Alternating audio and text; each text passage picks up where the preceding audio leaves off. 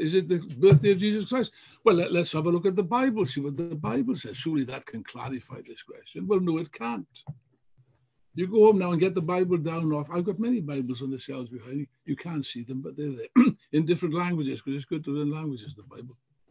But um, the uh, uh, the Bible has absolutely nothing to say about the, the, the date of the birth of Christ. Nothing. Zero. You know, not, there's not, nothing about, about, about the date of Christ in, in any of the Bible, in any, any, any of the, the uh, evangels. Okay.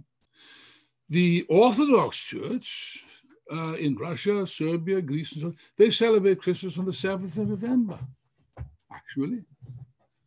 And the early Christians, that, there's just there's nothing, no proof of the date of Christ, but the, the tradition was, the earliest tradition was in fact to celebrate the, the, the date of Christ's birthday on the 7th or 6th or 7th of January, which in Catholic countries, some of you may know, is still celebrated as Epiphany.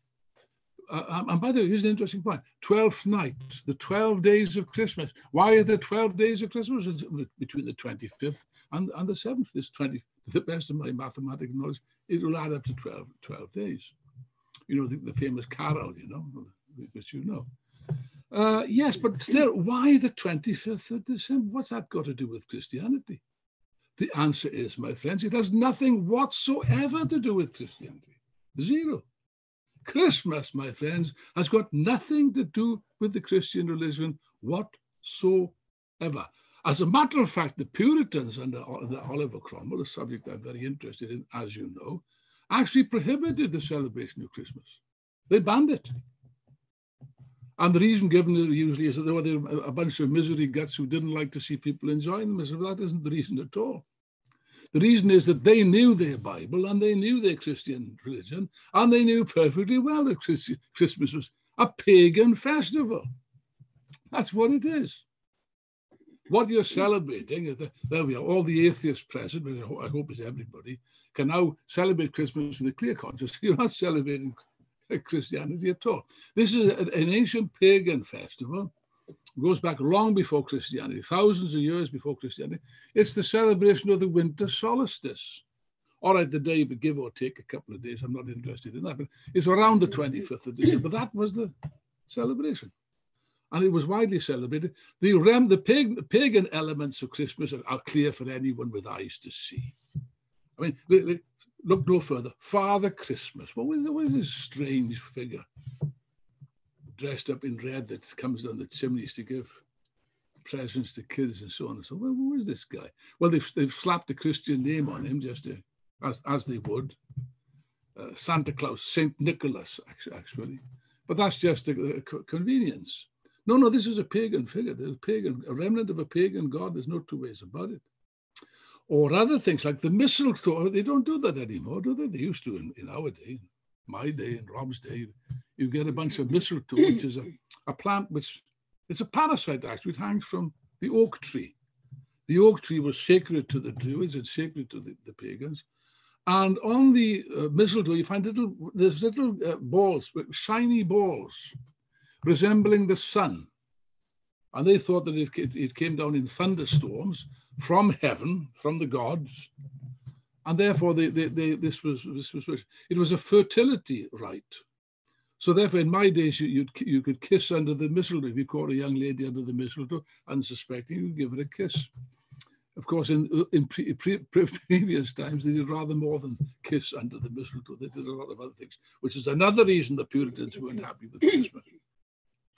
Then there was the uh, something called the Yule log. You might know the word Yule is an old word, old Saxon word for Christmas. It's still used in, in Scandinavia. The, the Swedish for Christmas is Yule. God Yule is Happy Christmas and so on. The Yule log, it was a trunk of, of wood, which people, some people, would put on the fire before uh, on Christmas Eve. Now, um, uh, actually, in the old days, it was a bonfire. In some countries, they still have these bonfires. And the reason was precisely because of the winter solstice, the shortest day of the year. The, the, the sun, you understand, which is important for agriculture, was dying, was disappearing with the shortening of the days. And therefore they believed that they had to, they were alarmed at this and they lit these fires to attract the sun. And that was the meaning of the Yule log. It was then turned into something as innocuous as a chocolate Yule log, which may or may not still survive. I don't know. But all these trappings, the Christmas tree is the same because these guys worshipped trees and in, in groves and so on. Nothing whatsoever to do with Christianity. And the legend surrounding Christ's birth is also nothing. It's nothing to do with Judaism, good heavens above. Look, there is absolutely no tradition in Jewish uh, mythology or uh, religion of virgin births. That's entirely alien. The whole concept is entirely alien to Judaism of any form. The early Christians, after all, was a, were, a Jewish sect. That's what they were. There's no tradition. There is, however, a very thriving, a, a famous, uh, well-known uh, tradition in, in Greek mythology and other ancient mythologies of virgin birth. So gods in those days, they were more, more kind of cheerful chappies than what they are subsequently became. They'd come to, to earth periodically and impregnate the nearest available virgin either Zeus would come down in the form of a bull, very inconsiderate of him, or a swan, which was a little bit better, I suppose, or, or, or a shower of, uh, of gold. He impregnated Danae as, as, as, with a shower of gold, which was much more profitable for the girl concerned. Yeah, but, but th th this exists in pagan mythology, but not anywhere in Jewish tradition. The Bethlehem itself, now that's interesting, but the star of the three wise men, who are these geezers? Who are these three wise men? Again, nothing to do with Christian. They, they're known as the, the Magi, actually, you probably know. The, the three wise men, I know it's the Magi, the Magi. The Magi were Persian priests of the Zoroastrian faith, nothing to do with It's an import from Zoroastrianism, this uh, business.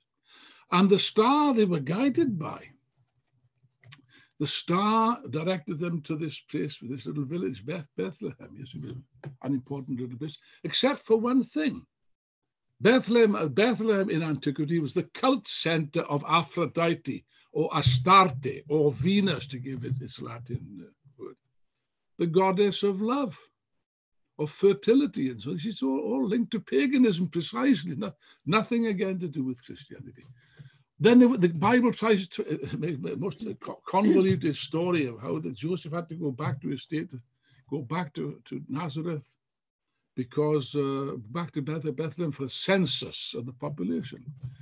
Now, here's an interesting thought. I want you to, I want you to fix your mind on this thought because it's an important element in what I'm, what I'm about to say.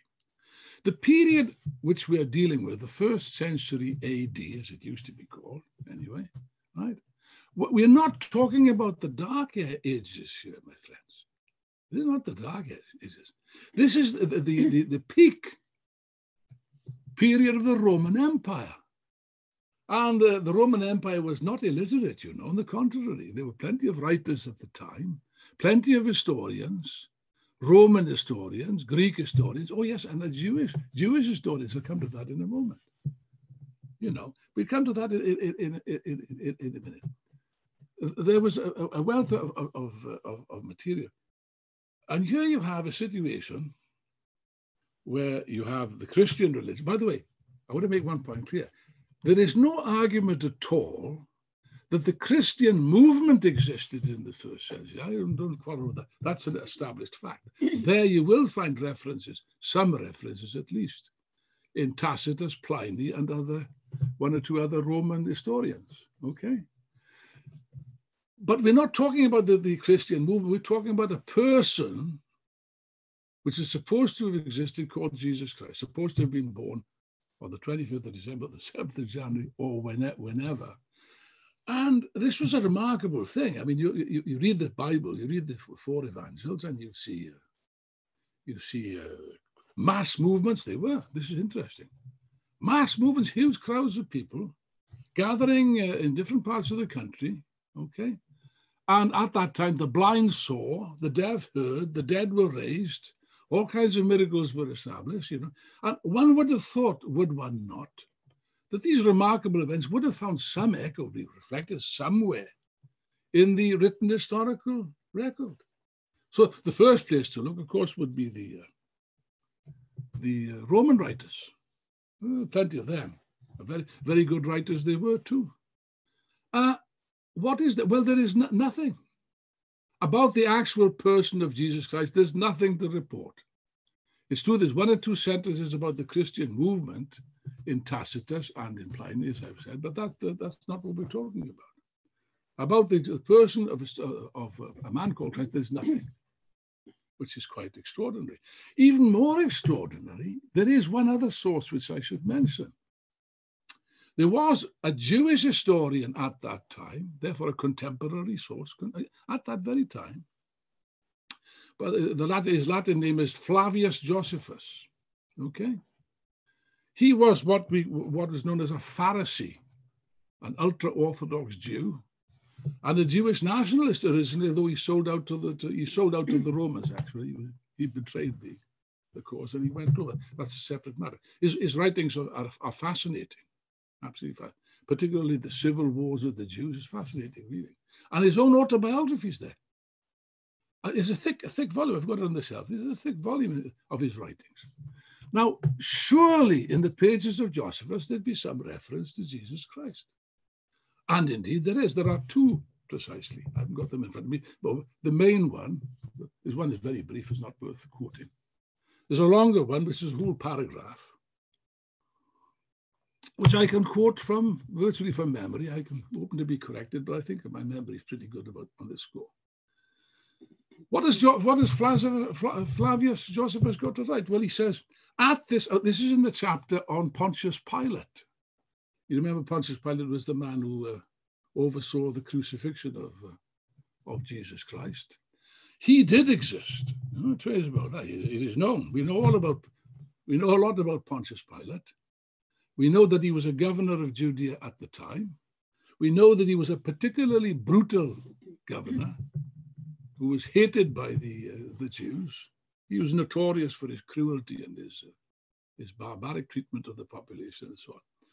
And yet, of course, when he you, it's a separate question. If you read the section on the crucifixion, he comes across as a rather a pleasant sort of at least a weak individual. He washes his hands, you know, uh, my hands, I, I am innocent of this man's blood, he says, and he blames it all on the Jews. This is the original origin of anti-Semitism, which survived for centuries down to our own period. And the Jews, the Jewish people were, were, were blamed, accused of being the Christ killers by the Catholic Church in particular. The fact that all the early Christians, including Jesus Christ, were Jewish, that seems to have passed unnoticed. But Pontius Pilate comes off rather well, so much so that the Orthodox Church actually uh, um, uh, uh accepted Pontius's wife as a saint. She's a saint of the Orthodox Church, if you can believe that. Anyway, let's leave that to one side. This is Pontius Pilate. So in the chapter on Pontius Pilate, there is a paragraph, one paragraph, note, one single solitary paragraph, which says the following. I'm quoting from memory, but I think it's pretty accurate what I'm going to say. About this time, there was a man if it be lawful to call him a man, because he uh, was a doer of wonderful works and cured the blind and raised the dead and so on and so forth, right? He was the Christ. Okay. He was the Messiah, in other words. Uh, that, that's one paragraph. There's a few more words, but that's the essence of it, right? Now, one paragraph in a, in a big, thick volume, thousands of pages, there's one paragraph Nothing before and nothing after. Now, for, for goodness sake, if, if uh, the author of these lines really believed that Jesus Christ was the Christ, was the uh, Messiah, then he would have a lot more to say on the subject, surely. But he doesn't. And it's not accident, not no accident that he has got nothing to say, because he never wrote the damn thing in the first place. This is a forgery a blatant forgery, which is quite uh, easy to understand. These uh, early manuscripts were copied by hand, very arduous, difficult work. You know, it took decades to write a, a, book like that. So imagine some Christian monk writing, perhaps centuries later, many years later, and he comes across, he's copying out, diligently copying out this work.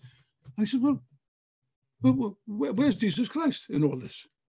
He's not here. I better put something in. So he did. That's why there's one paragraph, it sticks out like a sore thumb. Nothing before and nothing after. And it is impossible, my friends, utterly impossible, that, uh, that Flavius Josephus could have written those words. For one simple reason, Flavius Josephus, as I've already said, was an ultra Orthodox Jew. He was a Pharisee. And for the Pharisees and the Orthodox Jews, the idea that Jesus Christ was, was the Messiah was absolute blasphemy. You go to hell for even hinting at such a thing. And therefore, you could clearly see that this is a, a although it's still being quoted as, as proof, it's not proof at all. Therefore, what I'm saying to you is out of, out of all the literature of the period, which is considerable, there is nothing whatsoever to prove the, that there was ever such a person existing as Jesus Christ. Nothing. Doesn't mean that he didn't exist, but there's no proof of it. In the pagan sources, there's no proof of it. So what are we left with? Well, we're left with uh, just one source, which is the, the four Gospels. Now, question. Who, can you name the, the, name the authors of the four Gospels? Anybody? Somebody remember from Sunday school? Mm-hmm. Come on. Come on, it's not difficult. You'll never win a million pounds like this, you know. or I'll put you out of your misery. Matthew, Mark, Luke, and John. Yes? Yes. Thank you. All right. Second question. Who were Matthew, Mark, Luke, and John? Answer. Come on, somebody. Who were Matthew, Mark, Luke, and John? Somebody says it's a voice crying in the wilderness here, the apostles. Well, no, actually, they were not. Not in the slightest degree. Because the earliest one of these, I'm not sure whether it was John, actually, I can't remember which one it was. My memory fades. But um, the earliest one of these was written maybe 60 or 100 years after Christ uh, was supposed to have lived. No, no, no, no. And, and the, the, others were all later. The others you're talking about at least 100, 150, 200 years later, they were. Okay. So whoever these gentlemen were, they certainly weren't the apostles of Christ. They were people that took these names out of deference or whatever, and then, uh, but then they wrote a hundred years later, or more than a hundred years later, they wrote detailed accounts of long speeches Christ was supposed to make, like the Sermon on the Mount, which you all know by heart, I hope. No, you don't. You should do. The Beatitudes, all all written down you know, this is a time when they didn't have tape recorders, you know, and uh, or, or, shorthand, anything like that. And yet they, they, they now there's nothing nothing unusual about this. It's quite common. You find it in Caesar and other people. They put words into the mouths of people who are long dead. They put the words that suit them into their mouths. But here's an interesting point: the four Gospels are, are an interesting uh, source but not in the sense you could imagine, not, not as gospel truth used and expressed, not at all. First of all, they are full of historical inaccuracies, downright inventions, and they contradict each other frequently. Mm-hmm. They're flagrant contradiction. But even the contradictions are interesting. You know, I'm not saying they contradict. For example, come back to the Sermon on the Mount, which I'm sure you all know, don't you? Well, we'll see. We'll put you to the test. See how many of you are going to go to heaven at the end of this session. Uh, let's start in Matthew. Matthew you know. Uh, let me see now. Blessed are the poor in spirit, for they shall inherit the kingdom of God. Yes. Am I right? Does that strike a bell with you? You remember that? Is it right or is it wrong? It's right. That's what Matthew writes. That's what he writes. And so on. Blessed are the meek, and blessed are the meek, for they shall inherit the earth, and so on and so forth. All that. Very nice. Yes, but if you if you care to look at the gospel according to Luke, he's got something different to say. Let me see. Let me see. I've got the quote here. Yeah, I won't quote from. I could quote from them, but I've got the text in front of me. There we are. Blessed be ye poor. Now then, is there a difference between that and what Matthew says? Blessed be the poor in spirit. A millionaire can be poor in spirit. Donald Trump can be poor in spirit and he can be a, a billionaire. Okay. But this is different. Blessed be ye poor, for yours is the kingdom of God. This is Luke. Blessed are the poor, for you, yours is the kingdom of God. That's entirely different. Then he goes on to say, I have the glasses on, otherwise I can't read the damn thing. Just a minute. Sorry about this technical hitch. Yes. Blessed be ye poor, for yours is the kingdom of God. Blessed are ye that hunger now, Matthew says, Blessed are they that wish to hunger and thirst after righteousness. Again, Donald Trump can hunger and thirst after righteousness or hunger and thirst after an election result, whatever you care to, to mention. Yeah, but this is this is different. He says, Blessed are ye that hunger now. I mean, that's physical hunger we're talking about. Blessed are ye that hunger now, for ye shall be filled. That's clear, isn't it? You'll have your belly filled.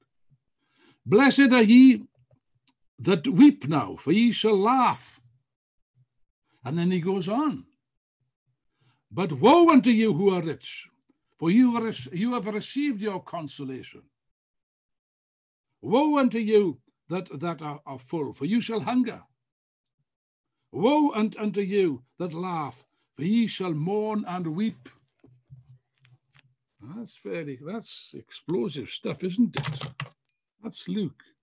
Okay. Not a word of that in Matthew about woe unto you where it's not a word of it. It's been suppressed. Now, where is all this leading us? I could quote a lot, a lot, but there's a book I can recommend. Very good book. I've got it here. I've had this for many years. It's by Karl Kautsky.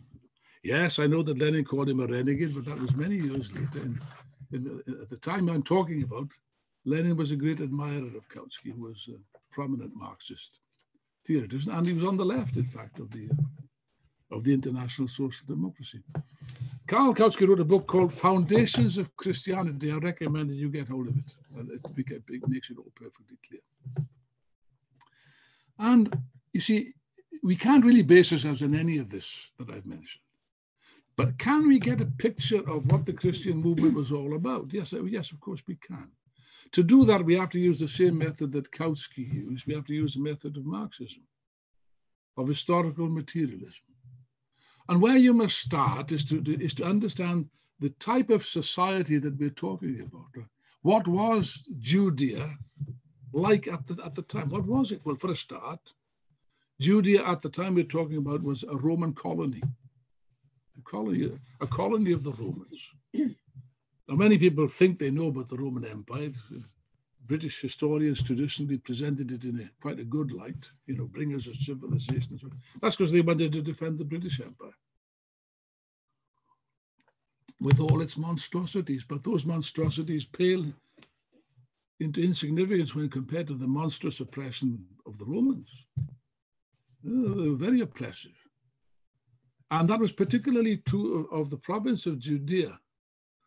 Now, Judea at this time was, uh, by the way, at one time it had been quite a prosperous area because it was at the, it lay at the crossroads of a, an important trade route, but that changed with the, with the development of sea trade, the advent of the Greeks, and so on and so forth.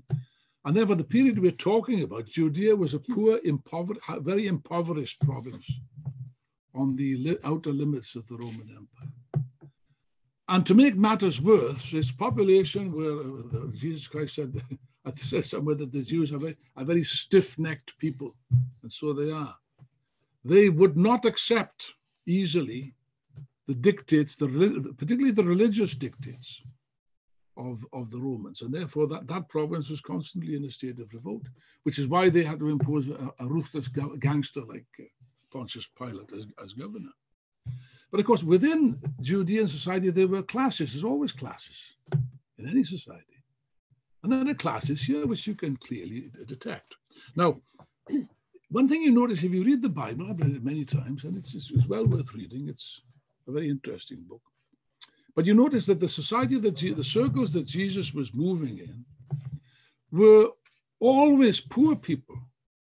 I mean, very poor people you know, the poor, the unemployed, the dispossessed, the prostitutes, the lame, the beggars, and so on. That's the, the Bible's full of that. Okay, that was the circles that he was moving in. Yeah, but it, it, that wasn't the only part of. They were the lower, the lower orders were, were terribly impoverished, oppressed, suffering masses, and so on and so forth. In a, in a constant state of revolt and rebellion. Okay, and there were parties that what you must understand about antiquity, you're not have political parties like today, but there were religious sects which, if you like, fulfill the role of political parties. These religious sects ultimately reflect certain classes or castes or groups in society. On the extreme left, to put it that way, there was uh, the revolutionary movement called the Zealots. The word zealot still exists in the English language, has certain connotations. One of the interesting, one of Christ's apostles, James, I think, was known as. You read the, read the, it's in the book. James, the, James, who was called the, was uh, James the Zealot. He was called. He was a zealot. So there was a militant zealot already in the ranks of the uh, of Christ's disciples. And that's not an accident. But there was another party, an opposition party, if you like. I suppose you could say maybe the Blairites. No, that's not doing them a favor, calling them that. The Pharisees, I've mentioned them earlier. Flavius Josephus was a Pharisee. This is like a kind of bourgeois nationalist uh, movement who were opposed to the Romans. They hated the Romans. They hated foreigners. They hated the religion of the foreigners. Yeah, but most of the most of the time, their opposition was one of a religious character, just sticking to the orthodox, the, the, the rituals of the Jewish church, and so on and so forth, Jewish religion. Christ uh, spoke about the Pharisees with withering contempt, you know, as we would speak about the Blairites. He referred to them as those whited sepulchres. A sepulchre is a tomb, white on the outside, and inside rotten, dirty, dirty, filthy dark, corrupt. You know, that's what he, did. you whited sepulchres and so on. That's what he called them. That was the Pharisees. And then on the extreme right, you had the class collaborationists, the Sadducees. That's, that's the priest caste. The priest caste who look at, looked after the, the temple of Jerusalem, and they collaborated quite happily with the Romans. They sold out entirely. And they adopted Greek names and they adopted Greek dress, and they were thoroughgoing scoundrels. Now, one thing, when you refer to the Temple of Jerusalem, I, I bet you all think of a, of a church, don't you? A temple, a church, or a Greek temple. No, no, no, no, no, no, no. Temple of Jerusalem was not like that at all. Temple of Jerusalem was a vast uh, array of buildings and temples and houses and centers for trade and money, money uh, changing and so on. That was the one prosperous, the one wealthy part of the whole province of Judea. And the reason it was wealthy is very simple because there was a sizable Jewish diaspora. Oh, yes, it, it, it, it came before the, the, the, the, Roman destruction of the temple. It, it dates a long way before that. The Jews were involved in trade. In Antioch and Alexandria and Rome and Athens, all these places, they were sizable communities of, of wealthy Jewish merchants who remained loyal and faithful to their religion and sent back large amounts of money to the temple. You still get that today, actually, with the uh, Armenian diaspora sending money back to Armenia, to the church, and so on. So that the, the, amidst all this poverty, you have this this this uh, this appalling luxury, this this morass of this this upper class gang, who were hated, of course, and the zealots were constantly staging riots and uprisings and attacking the uh, the temple. You see, if you look at the, the later figures, the parts, parts of the Bible, the only part of the Bible actually that contains, might contain some germ of historical truth in it is the crucifixion, and that's relative. But a part of it is, is it seems to be, some part is correct. Christ comes in from the desert. That's an interesting point. He comes in from the desert with his uh, supporters. And what's the first thing he does? He goes straight to the temple and, and attacks the money money lenders, over, overturns their tables. You know, you've polluted my father's house, he said, you know, drives them out. Yes, but you see, it wasn't a question of overturning a couple of tables and a shouting match. In order to do that, you'd require an armed insurrection. And there were many such insurrections like that, of course. All of them are put down in blood, of course. Now, there is one other sect which I haven't mentioned. For the lack of time, I'm going to. It's interesting, but there's another sect, and that was a communist sect, a very mysterious sect about which not much was known, mostly from Roman writers who wrote about them. They, they, they even wrote about them with some respect, as a matter of fact. They were known as the Essenes, the Essene sect. And it is known that they were communists. They shared out their, uh, their goods in, in common, as did the early Christians. Now, if you read the Acts of the Apostles, which I recommend you to do, read the Acts of the Apostles, which deals with the early uh, uh, Christians after Christ was supposed to be crucified. The, the Christian movement did exist. And uh, in order to join the Christian church, you had to part with all your worldly goods. No arguments. I mean, communists shouldn't complain when we ask for an increase in subs, you know, really. The, the early Christians demanded that anyone that joined their, their movement had to give up all their worldly goods. I mean, everything, their house, their property, everything, handed over. And that was then used for, for communal purposes. That everyone that was given a, a meal, they would gather together once or twice a day for what was known as the Essene, the Messianistic banquet. They'd gather together, they'd break bread, and they'd drink wine, and they would pray, I suppose, for the New Jerusalem. Yes, but it wasn't the New Jerusalem in the clouds they were talking about. It was New Jerusalem on this earth. And that could only come about through an insurrection, a revolutionary movement, and the overthrow of the uh, Sadducees and the, the seizure of the temple. And this was the, they, uh, uh, now, very little known about the, the series, but this is this is clear. It was a revolutionary movement and it was a communist movement. Incidentally, you know, they try to maintain that Christianity is pacifist and all the rest. Well, again, there's no tradition of pacifism in, Judaism. It doesn't exist. There's no such tradition. And the, the, these movements were not pacifists at all. They were very violent. They were a threat to the Roman establishment. They were a threat to the empire, and they had to be put down. And finally, when they really got out of hand, they really started to stir up trouble. They were put down. I think the emperor was Vespasian, wasn't it? But it was his son, a real gangster by the name of Titus, came with his regions to crush the revolt. That's when uh, Flavius uh, Josephus swapped sides out. You realize he didn't stand a snowball chance. He changed sides. but Titus succeeded. He crushed it. It was a brutal, bloody thing. Put down the insurrection, the Jewish uh, insurrection in blood, and the temple was destroyed. There's a, there's a, a, a triumphal pillar in Rome, actually, which you can see still. It's there. Uh, triumphal Ro Roman soldiers carrying the loot from the temple, including the famous candlestick, candelabra of the Jews, and so on. All this was taken back. And Judea was completely crushed now, the crushing of the Jewish revolt, which coincides with the period when Christ was supposed to have lived, it's not clear that he did exist, but the crushing of the, that, of course, was a turning point. And I think there must have been a, mood, a mood of complete despair at the time, complete despair. And arising out of this, there were certain tendencies that thought, well, perhaps we better rethink our tactics and perhaps we better turn inwards, and maybe the kingdom of God is not on this earth, maybe it's in heaven, and so on and so forth. Here is where you get the origin of the Christian movement. Okay, this is this is it. It, it almost almost 100% certain it was an offshoot of the Essenes, a tendency, a, fa a faction of the, the, the Essenes. Now, the incredible thing about the, about the Essenes is this: when Kautsky wrote his brilliant book, which I think still stands the test of time, uh, he, he, he made this point. Course, he, he couldn't know. All he could base himself on was the very slim evidence from, from Roman sources about the Essenes.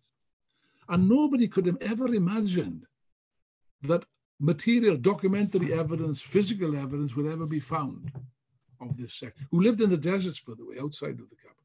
They, they lived like guerrillas, if you like. In yes, but in the late 1940s, by accident, a young Bedouin kid looking, looking after his goats in a, in a cave in a, in a, in a very remote area of, of, of Galilee, actually, discovered near the Dead Sea a, a series of scrolls, scrolls rather. And when these were deciphered, the, the archaeologists were astonished because uh, these were Essene scrolls, no, no two ways about it. Now, it took them many decades to decipher these scrolls. I remember at the time I was in school, in the 1950s. And I remember they used to have the, what they call the God slot on the television on a Sunday. And they, they, every Sunday there'd be something about the Dead Sea Scrolls. And look, this is proof of Christ's existence because there was clear evidence of similarity between this material and the elements of, the, of Christianity. It was clear. And yet it was a Jewish sect. So they, they were very excited about this. Then all of a sudden, I noticed this silence fell. Silence. As of the grave, not a word was mentioned. I did notice, however, I took an interest at the time, and I there was an archaeologist, an English archaeologist, one of the leading people, leading experts on the subject of the Dead Sea Scrolls, called John Allegro. I read his material, and I also he wrote a book, I think, in 1969 called "The Sacred Mushroom and the Cross." What struck me, I didn't accept his hypothesis. That's another matter. What struck me about it is that John Allegro, the conclusion he drew from his study, a careful study of the Dead Sea Scrolls, was that Jesus Christ never existed. And he says so openly, and it doesn't even he doesn't even make it. He assumes that that's obvious. He doesn't even have to prove it in the introduction to his book. Now, the, these sects were this these documents, these priceless manuscripts, disappeared from view for how long? Was it 60 years? I think it must have been 60 years. 60 or 70, I don't know, a long time. And you know where they were all this time? They didn't disappear. You know where they were? hidden in the vaults of the Vatican. Oh, yes. Catholic Church got hold of these priceless manuscripts and concealed them from view. And that's not an accident because any serious study of this would you draw very uncomfortable conclusions about the non-existence of Jesus Christ, for example, because these these uh, scrolls were carbon dated, and you know the date they came up with, 140 BC. 140 years before Christ was supposed to exist, existed, there was evidence of similar, very similar ideas to the early Christians, and therefore that completely bears out what Kautsky said. I won't uh, stress too much on this. I don't have a lot of time, and this you know, can look into this. This is a fascinating thing, but by all means, read, read Kautsky's book. I think he said what uh, all, all that is important to be. There's a, lot, there's a lot of other stuff. I've read other material. There's plenty of books on my shelf behind me about the Dead Sea Scrolls. There's an enormous, because then what happened inevitably with the internet and so on, a group of, I think, American scientists got hold of the internet and they, they hacked their way into the Vatican uh, archives and they took the lot out and they published them on the web. Bang! Big crisis, big crisis. And ever since then, a, a dispute has raged, f- furious controversy. Or you got opinions, opinions to suit all tastes. Of course, of course, because this evidence is still very fragmentary. And of course, you can read anything into it that you wish, more or less, more or less.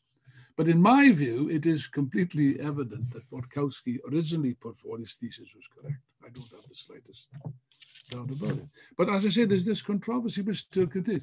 The Jews are up in arms about it. The Israelis were up in arms about it because they say, well, by what right does the Catholic Church uh, sequester important historical documents pertaining to the history of the Jews? It's, a, it's our material. And therefore, it should be given to us, which they refuse. But now, now it's available. So you have this dispute. Now, what conclusions do we draw from this? Well, first of all, it is not really a, a fundamental matter for us as materialists, as Marxists, whether there was an historical person called Jesus Christ or not. I suppose there might have been. It's difficult to, to know the facts. It's difficult, but I think that Kautsky's explanation is the most uh, satisfactory. personally, it's more more than likely that the picture you have in in the uh, in the Gospels, which cannot be taken as uh, historical documents, is probably a composite picture of several persons which actually did exist. They, they, did exist. They were known as false prophets. We know their names. There was a one, for example, by the name of Judas of Nazareth, Nazareth, or Judas of Galilee, I beg your pardon. He was one of these uh, who led uprisings and so on. So uh, it's probably a composite picture which has been doctored. The whole thing has been doctored probably the oldest book in the New Testament. You know what it is? It's the uh, the Apocalypse. You know, that's, that's that makes that makes good reading. Read something over Christmas. That's fiery stuff, and that's real revolutionary stuff. Engels says that that comes perhaps closest to, to the mentality of the early, early Christians, who were revolutionaries after all. Now, the first point I would like to make is this. The Communist Manifesto tells us that all previous history is the history of class struggle, and this is no exception. The early Christians were a manifestation of, of class struggle in a very sharp sense, very sharp sense, in, in, in Judea against the Roman, Roman rule, Roman oppression, and also against the ruling class, the Jewish ruling class, and also against the Sadducees, the equivalent of the labor right wing, if you like, these uh, reformist elements like uh, Flavius Josephus, the whited sepulchres, as, as Christ was supposed to have called them. A sharp class struggle. And in the actually, if you read the Bible, which I don't suppose you do, but I've read it very carefully over many years, there is men, this is dynamite. If you read where it says, I've got Kautsky quotes the passages that you'd be interested in. Really sharp denunciations of the rich, you know. And uh, also, of course, they were communists, as, I, as I've said. So, what occurred? Well, the Christian movement was a revolutionary movement and it was a communist movement. There's no two ways about it. In its origins, yes. What occurred? Well, you know, the ruling class has got many different ways of dealing with revolutionary movements. You know that uh, they've been around a long time and they learned a few tricks. The first method is repression, and they tried that. Under Nero and, and uh, Domitian and, and uh, others, they tried repression.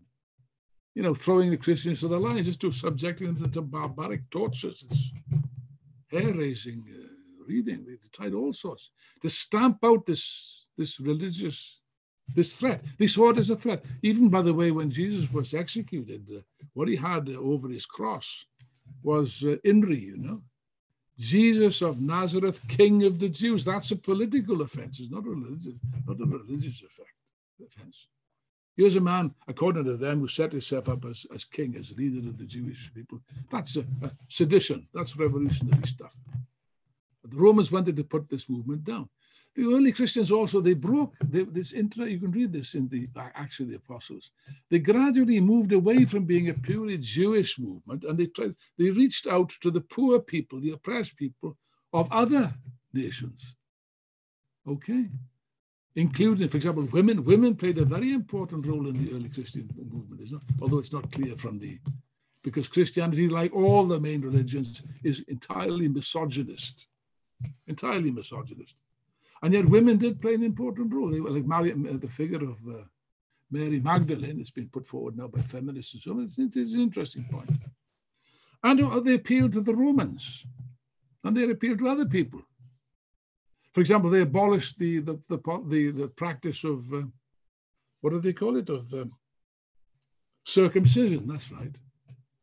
You know, you know what circumcision is? It's a pleasant little operation where that your part of your penis is uh, is removed and so on and so forth. Uh, they they abolished that, but that was one big big objection which uh, a Roman uh, potential convert would probably uh, have. But they made it they made it easier for foreigners to join, but they be mainly be poor foreigners, yes, mainly but not entirely, because the Roman Empire at this stage was so rotten, so corrupt, so bankrupt you know, when, a, when, when society enters into that state, you see that now under capitalism, you know. No, but it isn't just an economic question, you know. It isn't just a question of economics. People no longer believe in this system. They don't believe in it. They don't believe in its institutions. They don't believe in its police and its judiciary and its in its governments and its uh, political leaders, in its religion, in its morality. They don't believe a word of it. It's so, it stinks of hypocrisy. Therefore, the temples were empty. Nobody used to, nobody used to go to the temples anymore. Didn't believe in it. And you get that now, don't you? That's why you get a, an epidemic. There was at that time there was a plague. Roman writers complained about this. There was a plague of, of uh, mystical sects coming from the east. Uh, Christianity was only one of them. There were many others, like the cult of Mithras, and that that nearly took over cult of Mithras, was popular among the, the soldiers, the legionaries. But eventually the Christians got lucky. They, they became the, uh, the, the, one that took over. and they could not be suppressed. They became a mass movement, and by the way, quite a successful movement. And as it grew, also it became more and more, shall we say, prosperous, bureaucratic, you know, a bit like the Labour Party, if you like, the Labour movement. With the result that by the third century, by the third century, you had, oh yes, the, the bishops. Who was the first bishop? Okay, somebody say, come on, quick, who's the first bishop? Everyone says Peter or Paul. Wrong. You know who the first bishop was? Judas, Judas Iscariot was the first bishop. The episcopos, the, the bishop, was the treasurer. And how many times in the history of the trade union movement is the treasurer run off with the funds? Quite a few times, you know, particularly if you're, if you're underground, you know, the temptation is very strong. The bishop was the guy that had uh, kept hold of the purse and distributed it, supposedly equally among uh, uh, uh, equally among everybody. Yeah, sure. The bishops, and of course, gradually the bishops rose above the rank and file, same as the trade union and labour bureaucracy. They've risen above the rank and file. Oh yes, and uh, Edward Gibbon is a marvelous historian, one of the great historians, an Englishman by the name of Edward Gibbon in the 18th century. He wrote a great work, which you should all read if you can. The Decline and Fall of the Roman Empire is called. Gibbon was a, a man of the uh, of the, uh, the, period of, of reason. He was a rationalist. He was also an atheist who hated the Christian. he hated the Christians. he actually blames them to a large extent for the collapse of the Roman Empire, which is a bit unfair, actually. But no, he, he, in the footnotes, his footnotes are interesting, like Marx's foot, footnotes in Capital. I remember I read, I read it. I read the, the Decline and Fall. Rob, Rob might remember this.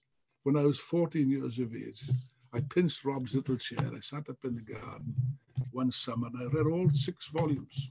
I couldn't put it down. Fascinating reading. But in one of the footnotes, I remember, he's referring to a bishop of Africa. Africa was a Roman province at the time. A bishop of Africa, and he, and he said, he said, this bishop, and he quotes his words. He said, my vows of obedience have placed me above the heads of 100,000 uh, men and women that would be. My vows of, of, uh, of poverty has given me an annual income of, of 100,000 golden marks or whatever it was. And Gibbon typically makes a sarcastic comment. The worthy bishop does not explain to us to what to what excesses his vows of chastity led him. That was uh, Gibbon. In other words, they, they became a privileged caste. And of course, the Roman Romans eventually, the Roman ruling class eventually realized the, the, the repression was not succeeding, and therefore they've got another means, which is to buy them off. Buy them off. A Tory leader once said to the working class, he said, "Look, you, you, you guys, you people cannot win. You can never win, because we'll buy your leaders. We we always buy your leaders." He said this. A Tory leader said this. Well, it was the same two thousand years ago. Yes, under the Emperor Constantine. He's, he's supposed to be a good guy, supposed to be. No, by the way, there's no evidence whatsoever that Constantine ever got baptized as a Christian. I think he died a pagan. There's only one source which says that he became a Christian, and that's Eusebius was a lying bastard, you know. But he he, he says he, he, he made him a Christian on his deathbed. It's like that, so we only get his word for that. No, no, no. Constantine's mother was a Christian. That's another matter. But anyway, Constantine was a smart, he was a bastard, but he was a smart bastard. He realized that the repression was getting nowhere and said, well, let's talk to these people. Let's buy them off. Let's, which he did. He did. There is a famous, there's a passage which I've forgotten where it comes from, but I've read the passage. Astonishing passage, written by a bishop. He's ushered in, with all the bishops are ushered into this royal palace to meet the great man, the emperor, and so on. And he said, This place is so splendid, so wonderful. And the, the, the honest uh, men of religion, of God, were, were struck with such powerful feelings. One would have thought one was in the kingdom of God. He's in bloody Constantine's palace. You know, this, this is, a, we've arrived, boys, we've arrived. Yes, of course they had arrived. And Constantine, of course, he said, yeah, okay, we'll accept you, as, we'll accept Christianity. It'll become this, the state religion, okay, on one condition. I'm in charge. You do as I say, which they promptly did. There's only one snag. Now, listen, you see, at that time, the Bible didn't exist. There were no Bible. There were lots and lots, there were hundreds, maybe thousands of different verses of the Bible floating around in manuscript form. An, intolerable state of affairs for Constantine. So he said, okay. You know what he did? He got, this is a fact. He got all the bishops together in one room. He said, now, decide what the Bible consists of. You decide. They didn't decide. They took the time arguing and discussing and debating. Said, okay, these guys are not deciding. Okay, fair. We'll sort that out. So what did he do? He surrounded the building with troops. He wouldn't allow any food in or out, no water, and nobody was to get in or out. They made up their mind quick enough. Yeah. Persuaded by the Holy Spirit and by the lack of food, basically. And that's how the, the, the, the, the, the, the Bible comes in, the, the Bible that we know comes into existence.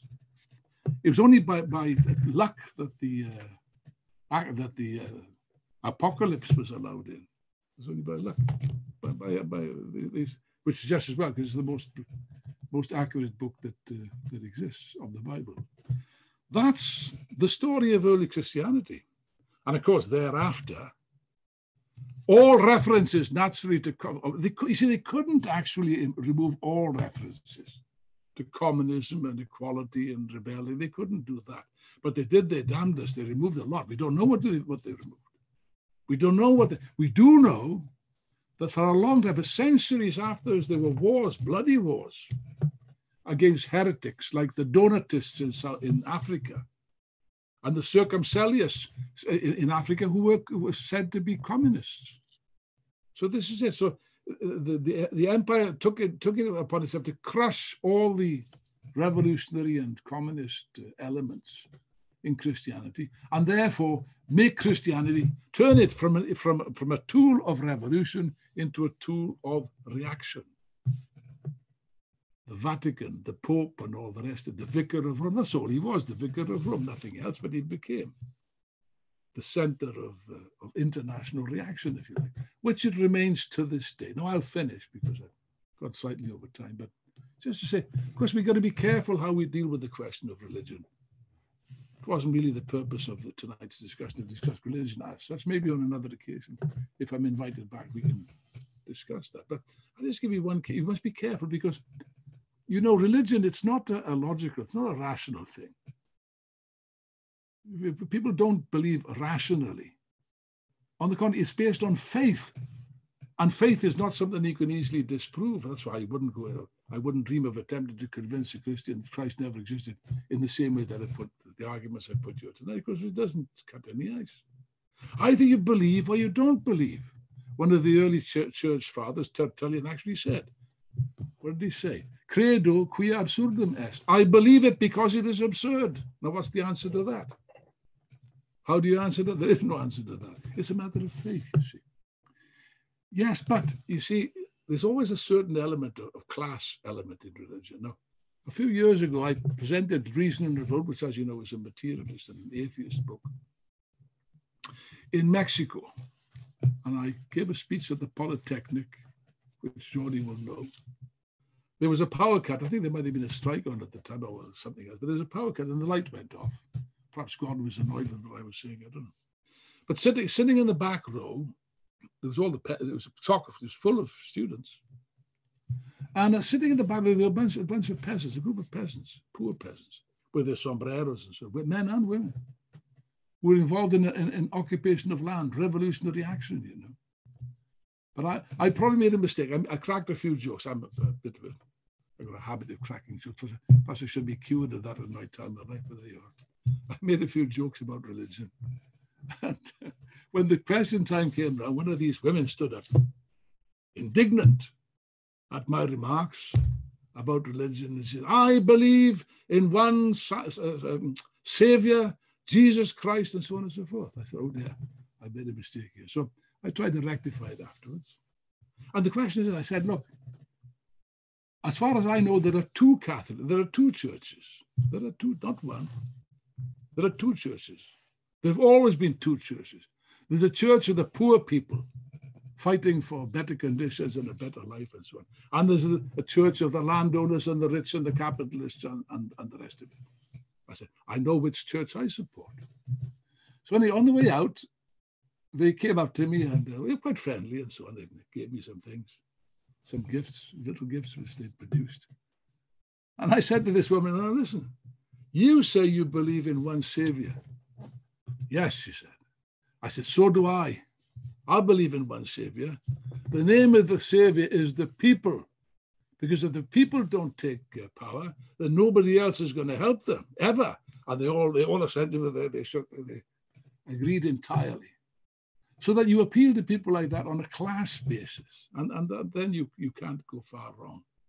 You can even quote the Bible. They say the devil can quote scriptures, so I hope I quoted a few items, and I might quote, I might qualify for that role in the eyes of some people.